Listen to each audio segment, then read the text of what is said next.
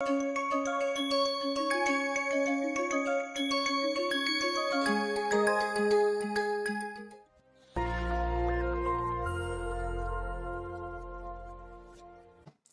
everyone, welcome back to the series of lectures on uh, chemistry and uh, as we have discussed a bit about the aquatic chemistry of uh, block elements. So today we will try to learn something about the pH-pE diagram. Uh, before going to the presentation, I just want to have a mention of uh, the references that I have used for this presentation. The first is the chemistry of actinide and transactinide elements and second is the aquatic chemistry I've also used some of the program for the speciation plot that I have uh, taken from the KTH that is known as the Medusa or uh, Hydra. Some of the images are taken from the internet or web as per the convenience. I have modified them. So these are the few references that I have mainly used. Besides that, whatever references I have used, I have tried to quote them on the respective slides.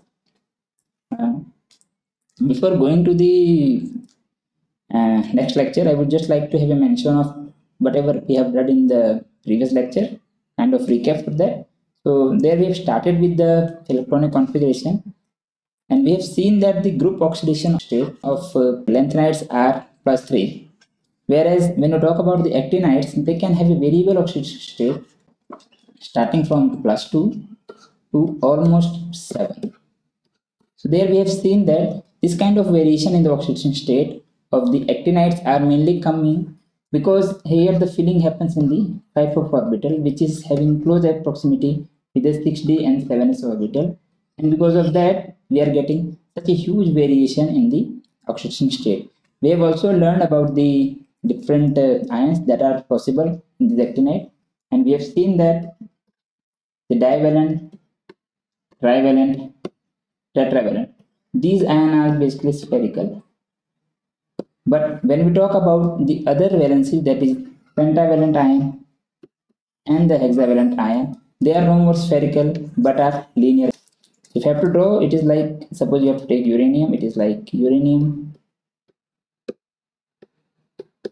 This is called trans dioxo compounds. So here we can see that the charges are 2 plus. So you can see the total charge is 2 plus, whereas we say it is like hexavalent, so uranium 6 but if you start about the properties of these ions, what you found that they are neither behaving like pure 2 plus or 6 plus, but in between, somewhere in between. So lots of group has worked on this and finally they have come to the conclusion that the bonding or the chemical properties of this kind of element, this kind of oxygen state that is actinide we say in general are dependent on the charge which is 2.2 units in the case of pentavalent and 3.3 units in the case of hexavalent.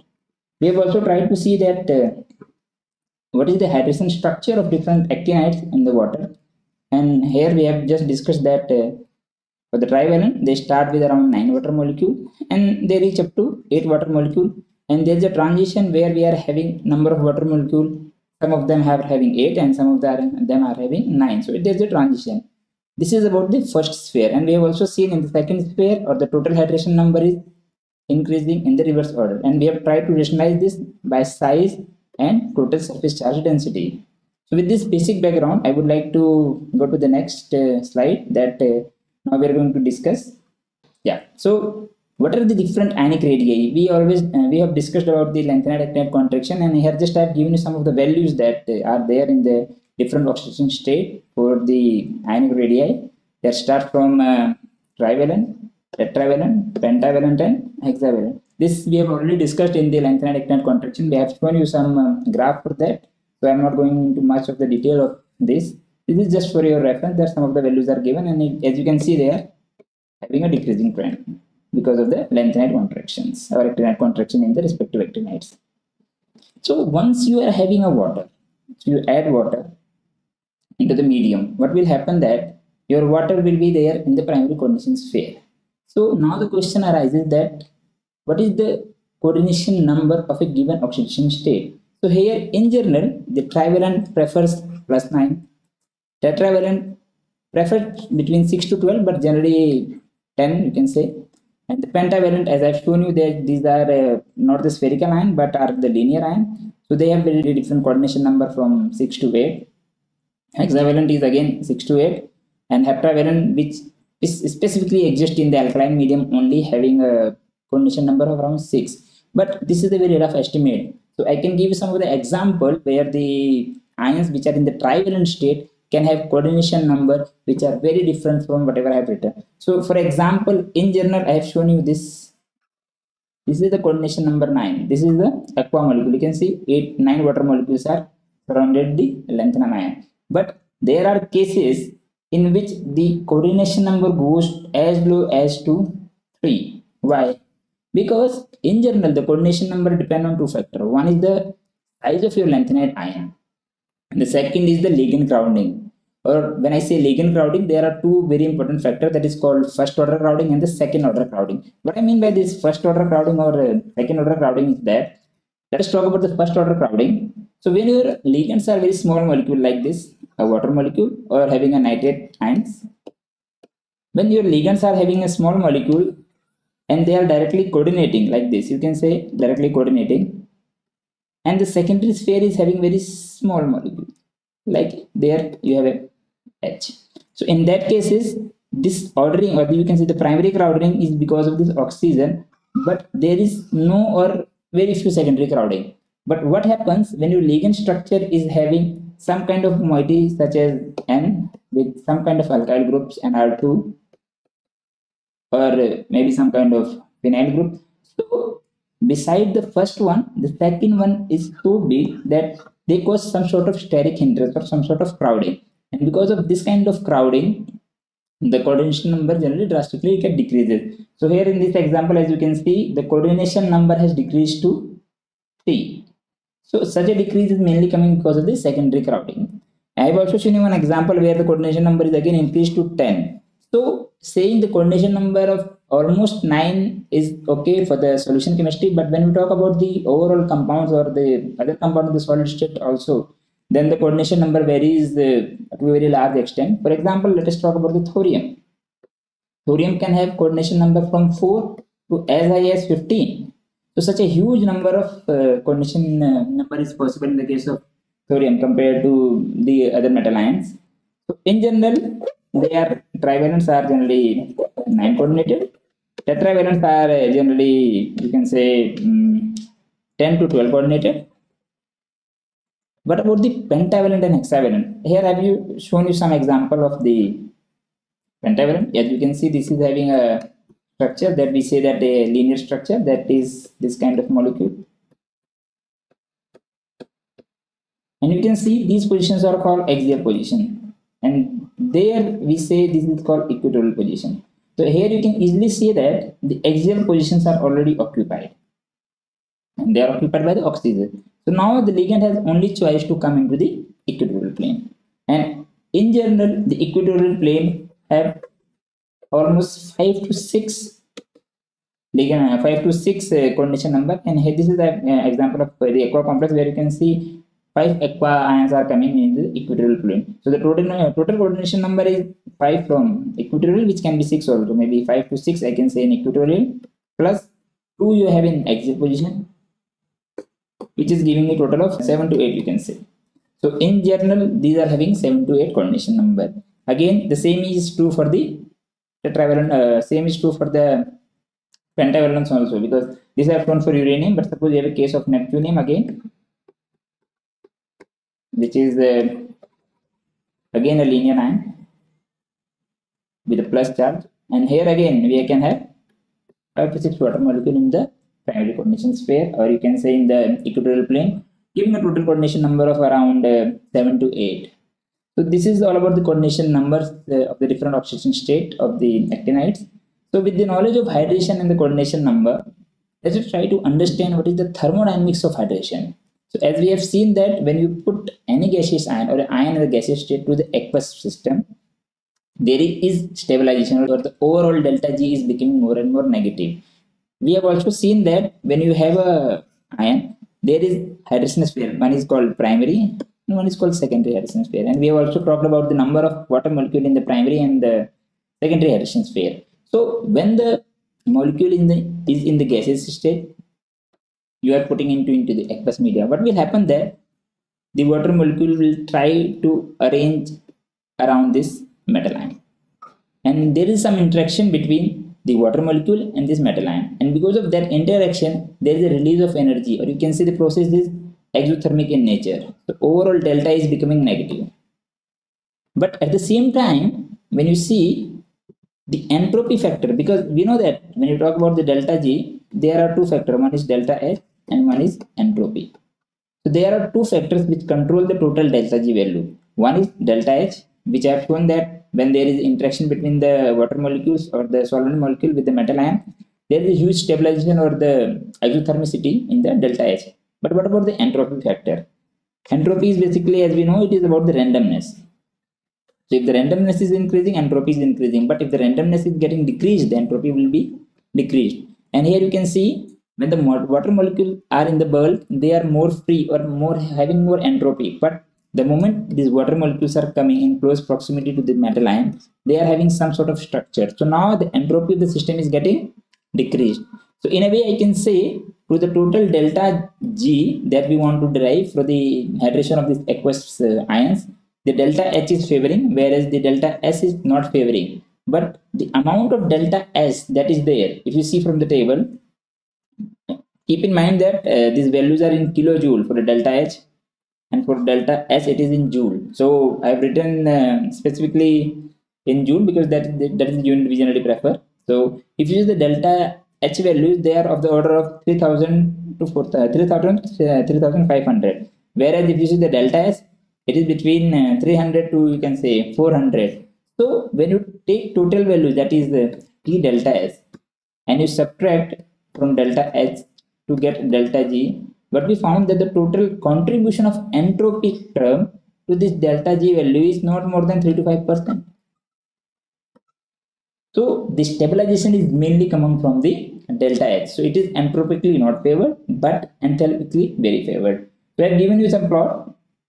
Here i have plotted uh, all these three quantities that is delta s delta h and delta g. You can see the delta h is keeps on decreasing or I can say is enthalpically more favorable because we are getting a more and more negative value as we are moving. And the delta S is also following almost the same trend. And when we take the difference according to this equation we are getting delta G which is again a negative. But why this kind of trend? Because when we talk about the delta H suppose we take delta H first. As we move in this series what will be there there is a decrease in the size or you can say total increase in the Z by R ratio. So when the Z by R ratio or the ionic potential is getting increased, there is more and more stronger interaction between the metal ion, between the metal ion and water molecule. So this interaction is becoming stronger and stronger and because of that, the energy released is more and more. So that's why we are getting more and more negative energy. Similarly, when there is more interaction, so suppose there is low interaction at uh, this, so the only structure of water molecule is there in the primary sphere and the secondary is not very much influenced. But the moment you are getting to a very higher potential, a very high ionic potential, there is some sort of structuring in the secondary sphere also. And because of that, you can see there is a constant decrease in the entropy term. And then again, we just uh, take care of uh, entropy and enthalpy to find out delta G value. And what we found that the delta, uh, delta G values are uh, again very much negative in these cases, which is giving the stabilization to the ions in the aquatic media. Once you have these ions in aquatic media, they are stabilized in some form.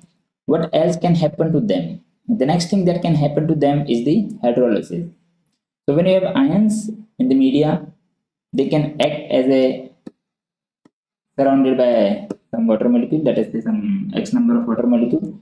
So the next thing that can be there is the hydrolysis because this metal ion has a tendency to attract the oxygen from the H2O and slowly so happens that this kind of hydrolysis equilibria can establish into the aquatic media. And as I've shown you that uh, we are having different kind of uh, ions that is spherical and linear. So their hydrolysis behavior is very much different from each other. And if you assume this kind of uh, equilibria for the hydrolysis you can always write uh, hydrolysis equations.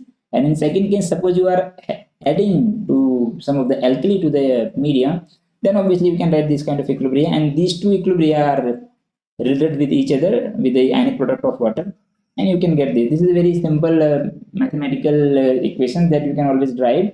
And you can get information about uh, different kind of equilibria that is there. But the most important thing that i want to discuss here is that at what point hydrolysis will occur and which are the metal ion which are more prone to the hydrolysis in general as we have written that it is dependent on the oxidation state of the metal ion. And when we say oxidation state the trend i have given is this that it is most prominent for the tetravalent followed by the hexavalent trivalent and the pentavalent. And keep in mind that when i say hexavalent i assume a charge of 3.3 and it is 3 so you can see there is a good decrease. You start with 4 plus and then you have a charge of 3.3 then 3 and then 2.2 so it is perfectly going with the charge on the central metal ion. The second thing is the the oxygen state which are having a different structure. They are called actinides generally i've shown you that the actinides or the pentanol which are having linear. So their hydrolysis is very very poor again because of the charge. So if you see the value wise if you see the thorium hydrolysis constants with respect to others so i've given some of the values here. If you see thorium log K value for this hydrolysis reaction is around minus 2.5 whereas for uranium it is minus 5.25 these are the log k values. So if you try to write them in the form of k this will be like 10 to the power minus 2.5 and 10 to the power minus 5.25 what i mean by that if you just take the ratio you can say the thorium tendency of thorium to get hydrolyzed is almost 500 times more than that of the uranyl ion and when you talk about again uranium to americium it is again almost 100 times than uh, uranium. And this is very weak. As you can say it is going from minus 7 to minus 11 so it is almost uh, 1000 times lower. So this hydrolysis is taking place depending on the ions. So when you have ions and they get hydrolyzed how their hydrolysis tendency is varying with the atomic number you can say in the series in the lanthanide series so here in this particular graph i have shown you the onset of precipitation with respect to the atomic number here you can see as we are moving in the chain from the lanthanum to lutetium, the pH at which the hydrolysis will occur is decreasing. What does it mean that the ionic potential as we move the size is decreasing so the ionic potential is increasing. So now the ionic potential is becoming so higher that even at low pH you can get the hydrolysis. So this is for the trivalent basically I have shown you the trivalent.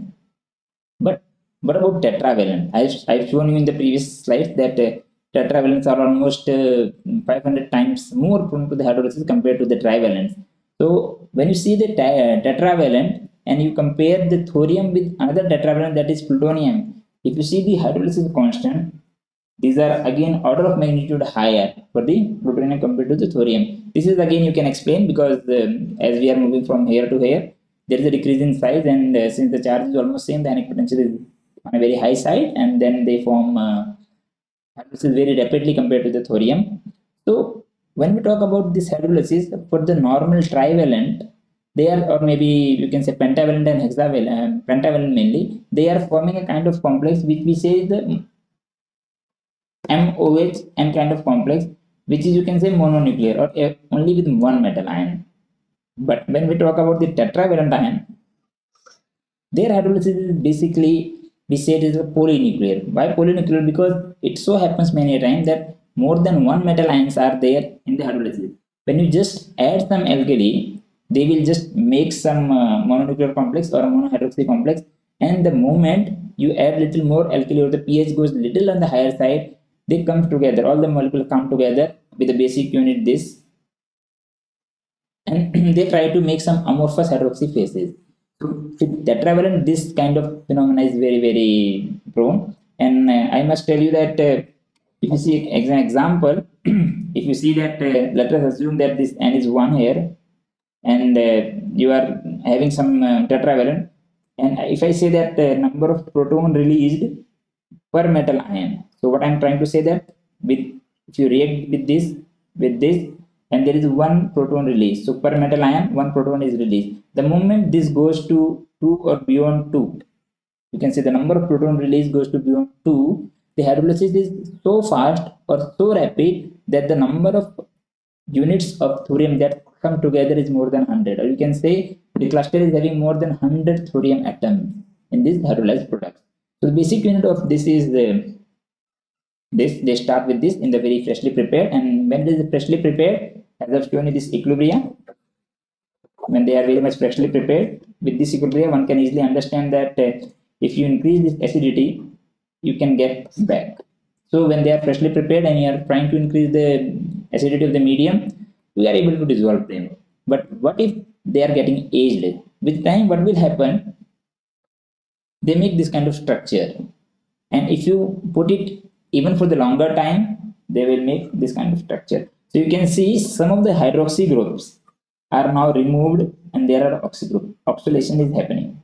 So the tendency of formation of this is very very slow. But if it has formed its solubility just by increasing the acid of the media is very very poor. So this depolymerization this phenomena is basically a polymerization so when i say depolymerization we are trying to get back from this to our metal ion.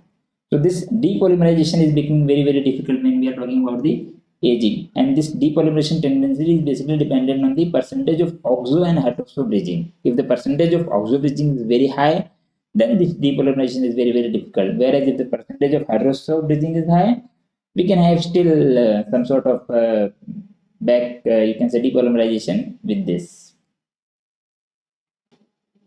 so now the question arises okay we know something about the hydrolysis. We know the trend like yes the trivalent is having very high hydrolysis constant than compared to the either trivalent or divalent. But suppose somebody asks me that uh, can you tell me about uh, that what is the fraction what is the fraction of hydrolyzed species that is formed when i'm doing some reaction at a given ph?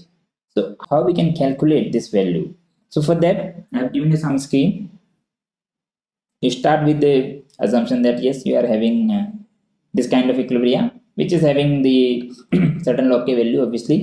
And then uh, the other in which I have started from monohydroxy to dihydroxy sorry it is misprinted it should be a trihydroxy to the trihydroxy and finally to z amount of OH groups.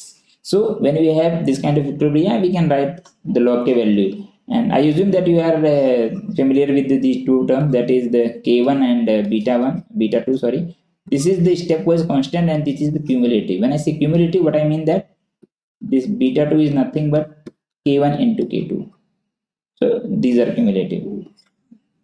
So with this knowledge of log beta values and log k value how can we arrive at the fraction or the percentage of hydrolyzed species at a given ph? So what we can do we are having this knowledge and whatever metals and we are adding suppose we have added some amount the total m whatever whatever we have added. Now in the system at a given pH or at a given condition is present as m free plus different hydrolyzed species starting from uh, mono di all sort of species are present. So your total m is always fixed and these fractions keep on changing depending on your pH. Suppose you can write this total m in terms of this k value beta values and protons.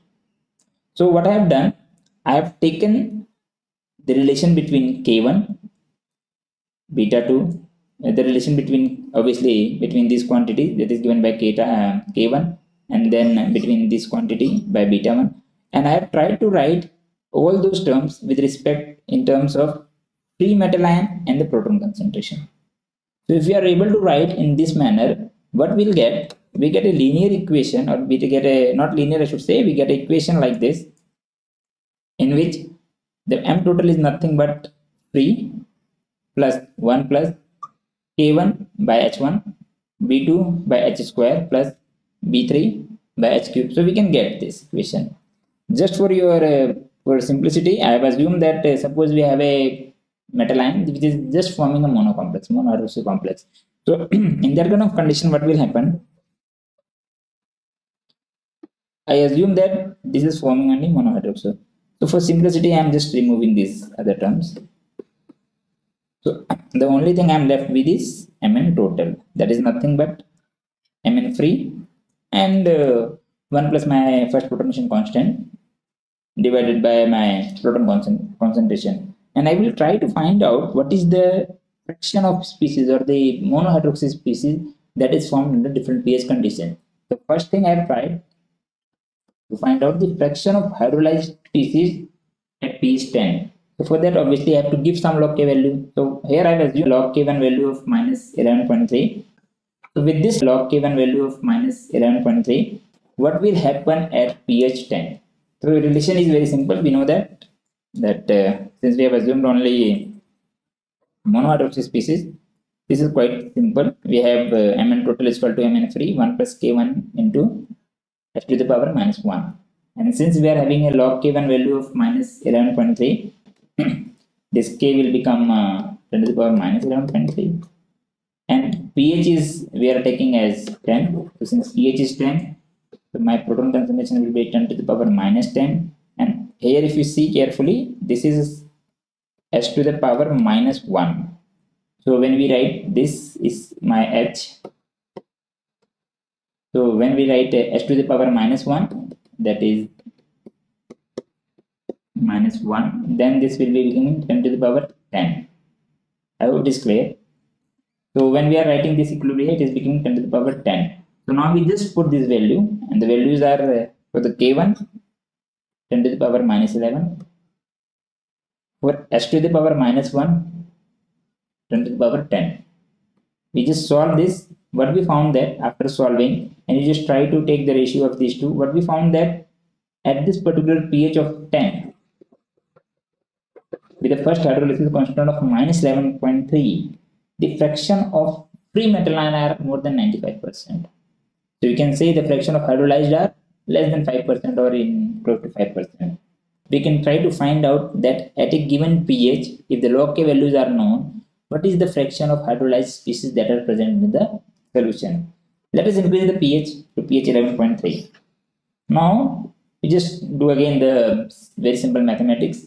And what we found that at this particular pH 50% of the total metal ion are present as free. What it means that since I have assumed the formation of only monohydroxy species my total is nothing but sum of these two monohydroxy and free. And what I'm saying is that 50% of the total 50% of the total is acting as a free. So this is 50% what is the rest? Rest is also 50% what i can say that at this particular ph both of them are almost 50 50% and if you see carefully this ph is nothing but close to your log k value. It is just the negative of your log k1 value. So what you can say that if you have information about this log k value and if you know this simple calculation you can easily tell that at what pH what kind of uh, what kind of species are forming and where the hydrolysis will start. So this is the very simple case I have discussed with the mono, species. But obviously in real systems we do not have this kind of species. We generally having a combination of mono, di, tri. And in those cases you have to take care of all these equations all these uh, equations all these terms in the equation.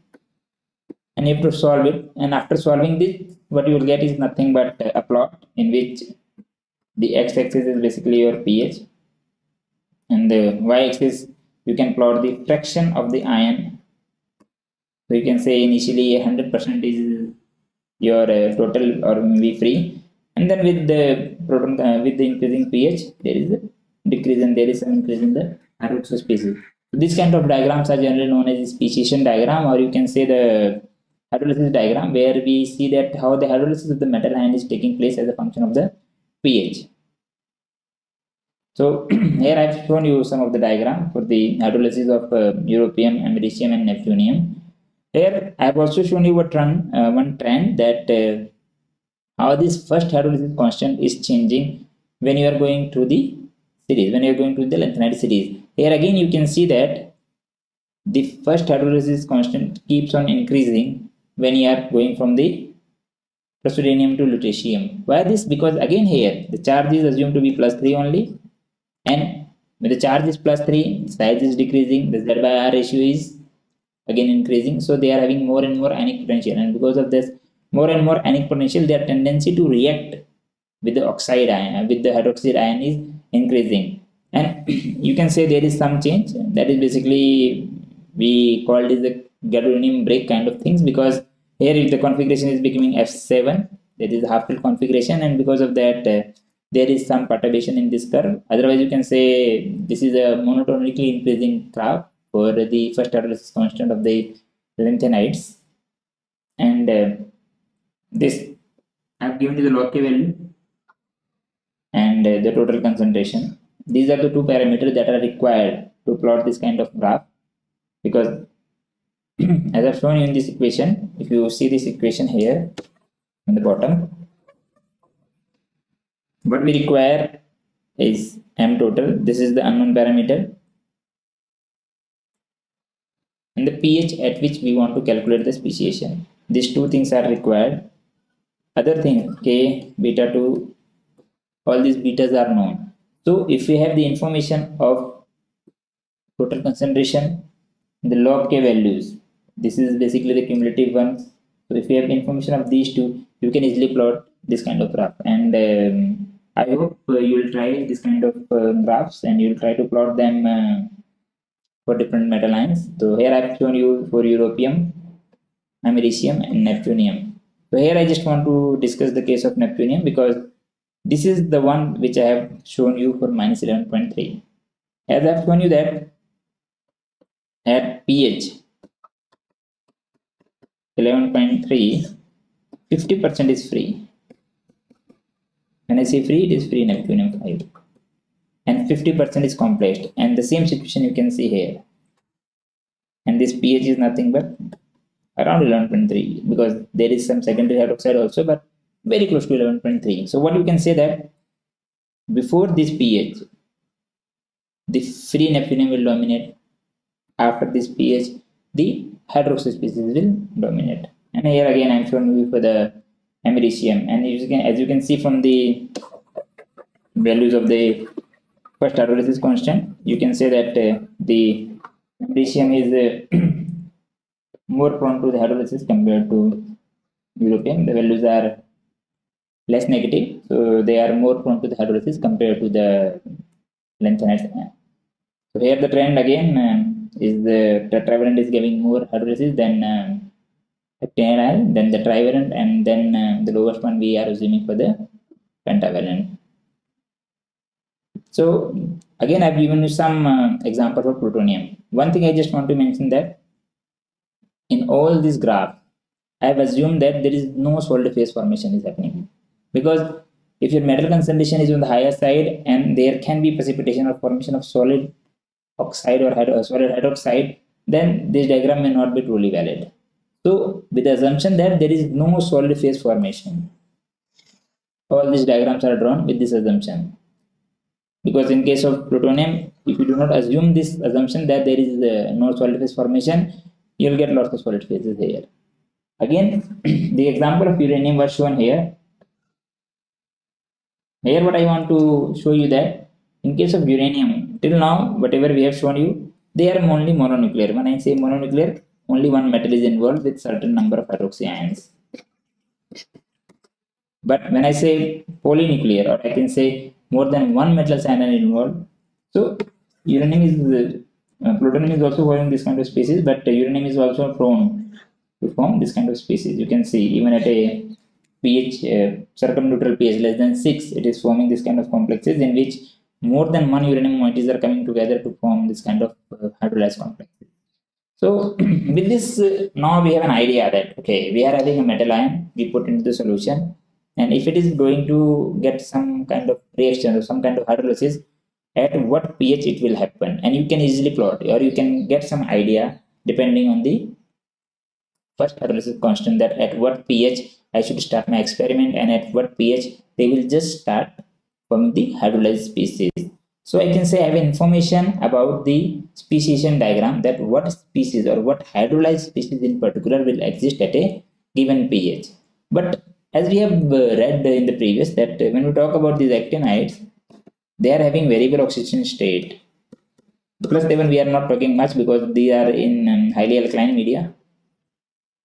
So this we are not talking uh, much. So we can, uh, for the time being, we just assume that uh, the oxidation state from even nobelium we are not talking much. So you can say from plus 3 to plus 6 and when we say plus 6 again it is in the form of linear dioxocations plus or 2 plus bending whether it is a pentavalent or hexavalent so now we have information of their hydrolysis. What is the trend of their hydrolysis? But since they are having different oxidation state also how these oxidation states are varying in the solution? Or do we have any information about the oxidation state that can be present in water at a given condition? At a given condition when i say i mean that certain pe value. What is pe that we'll try to understand that uh, what the term pe and what i mean by the term pe so let us assume for very simplicity that uh, you have a ph that we all know that what pH stands about is minus log of uh, activity of proton. So we all know that pH 7 is neutral and when we are increasing the pH to the higher side that is in the range from 7 to 14 we are having low proton density or we are saying that the solution is becoming less and less acidic. And when we are saying that we are decreasing the pH what we mean that okay the pH is going to be decreased it means we are having high proton density so similar to the pH scale which we are using for getting information about the hydrolyzed species, can we have some sort of scale in which we talk about the electrons, the availability of electron or the electron activity? So you can say very similar to pH if there exists some scale which I can say PE which is nothing but minus log of you can say activity of electrons although the free electrons do not exist in the media but assume that you have certain sources that somehow you are having some kind of redox couple which are able to give some electron into the media. We'll talk about this in the letter, but uh, assume that you have some electron and we can make this kind of scale that is called PE. What will happen? As the PE will increase, what will happen that the number of electron get reduced or you can say there is less electron density. What do I mean by less electron density? That this condition is becoming oxidizing condition. And when the p is getting decreased what i mean that when your p is is on the lower side i do not have given the values of the pe that what is the range we are talking about we will discuss it in the later part. But suppose you have certain range from x to y and your p is getting decreased. When your p is getting decreased what will happen that the abundance of electron electron density will increase. So here the conditions are more and more reducing. So just to you, uh, you can always compare it with the ph whenever you are a bit confused so then you can always compare. When we are reducing the p we are going to the reducing condition. And when we are increasing the p we are going to the oxidizing condition. Okay so if we can use this kind of variable similar to the ph we can always get information about the redox behavior. So we'll continue for uh, this uh, pH and P relationship and we'll see that uh, how these variables will change the redox activity as well as the the properties of the metal ion mainly actinide into the solution? And uh, thank you. Thank you for listening